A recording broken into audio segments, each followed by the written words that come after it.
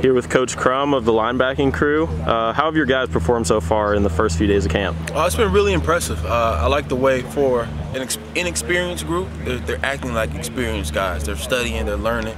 Uh, the communication it's like off the charts. You know, we're still progressing because it's still relatively, it's a new defense still, uh, putting in more, putting pressure on the guys to learn it, but they're acting like a bunch of veteran groups that have been in the system for years. Even though you have a few veterans, have those guys really helped along the younger ones as yeah, well? absolutely. Uh, the young guys are trying to get in and trying to work.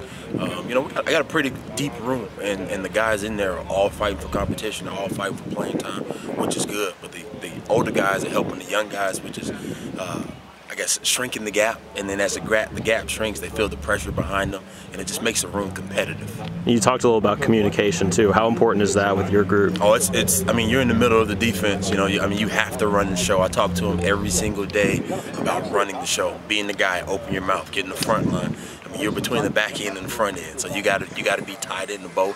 And, and if you leave no secrets, you got to communicate. And then, what are you looking for out of them in the coming weeks? Uh, just to continue the uh, progression, you know, growing, uh, working hard, running to the ball, and as we put more and more on them, you know, don't hit a wall. You know, as the install increases, try not to uh, try not to, to have any any any lows. You know, let's try to stay even. Let's try to stay consistent.